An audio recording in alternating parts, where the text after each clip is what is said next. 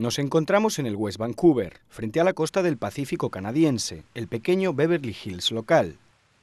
El señor Su es chino y es en este distrito en el que quiere instalarse. Le piden 4,3 millones de dólares por esta casa de 450 metros cuadrados. A mi hijo estudiar y crecer aquí le permitiría integrarse en un estilo de vida internacional, algo que no sería posible en China. Para los agentes inmobiliarios el negocio está en atraer compradores chinos. En solo cinco meses la clientela de este agente inmobiliario ha pasado de 2 a 40 clientes.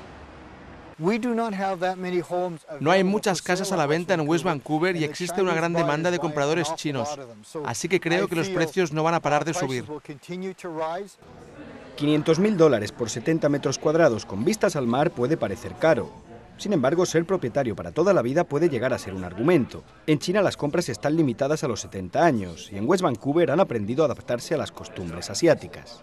Consultamos a un experto en Feng Shui para asegurarnos de que los planos y el diseño de las construcciones resultan atractivos para los chinos. La cosa funciona. De las 40 primeras ventas de este complejo, el 50% de los compradores han sido chinos. La familia Su todavía no ha hecho su elección, pero parecen convencidos de algo.